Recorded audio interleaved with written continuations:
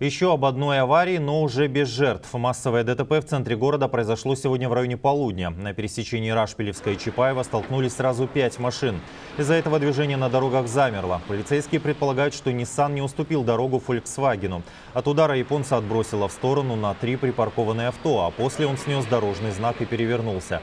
В машине ехала семья с маленьким ребенком, никто из них не пострадал. За рулем второй иномарки сидел игрок баскетбольного клуба «Кубани». Он тоже отделался испугом. И еще одна массовая авария с участием тоже пяти машин произошла в районе Ставропольска и Димитрова. Водитель иномарки пытался проскочиться на красный сигнал светофора. Чудом не сбил пешеходов, но не сумел объехать другой автомобиль. ДТП парализовало движение и стало причиной еще двух аварий с маршруткой и двумя легковыми иномарками.